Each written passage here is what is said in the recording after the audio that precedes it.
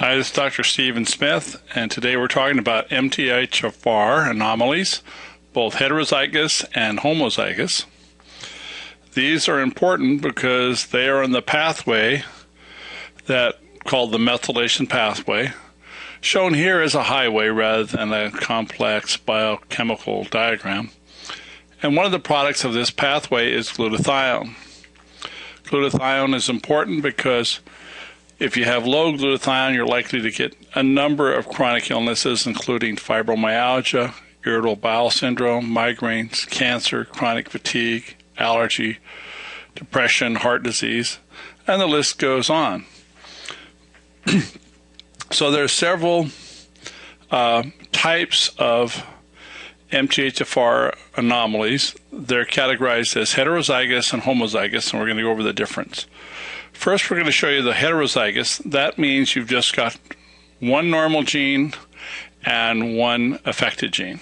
This could be the 677 or the 1298, which are the two that we measure out of the sort of 50 MTHFR enzymes that there are. So this means that you've got one from one parent.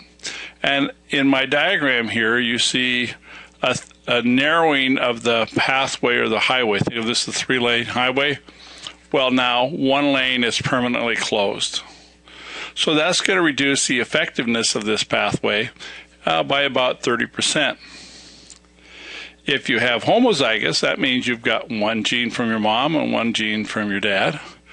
Then the pathway can really be compromised, maybe as little as 10% to 20 or 30% is the max.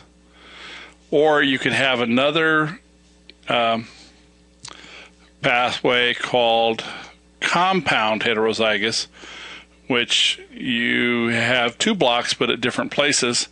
And this is actually usually the worst combination. This pathway efficiency may be as little as 10%. All of these result in low glutathione, and very rarely we see a homozygous with a heterozygous uh, at a different spot. These are very rare. So, um, anyway, the end result of this is that glutathione is depleted. And over a lifetime, this can cause a lot of problems because toxins build up. So, and we have very little defense system.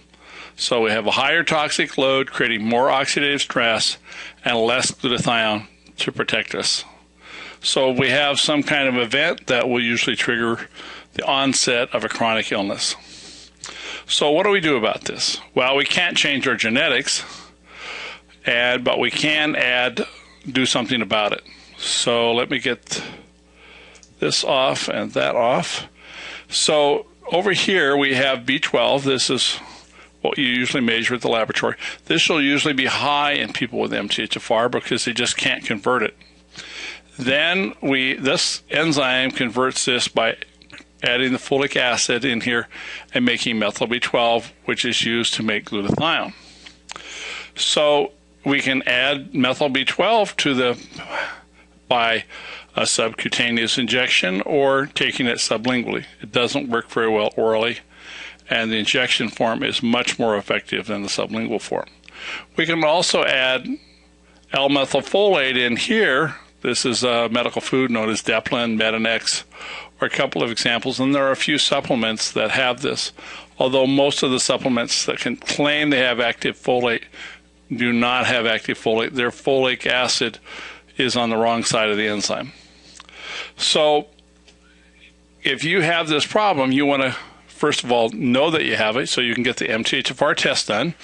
It's a genetic test. It costs about $150 at some labs up to about 350 dollars you can also measure glutathione levels. This is a little bit more esoteric test, but it can be obtained. The cost is about $150 or so. And with these two pieces of information, if you have this anomaly, then you can perhaps get a prescription for methyl B12 shots or take the Deplin and start raising glutathione. And this is going to help with a multitude of chronic illnesses. So I hope this has been helpful. Thank you very much.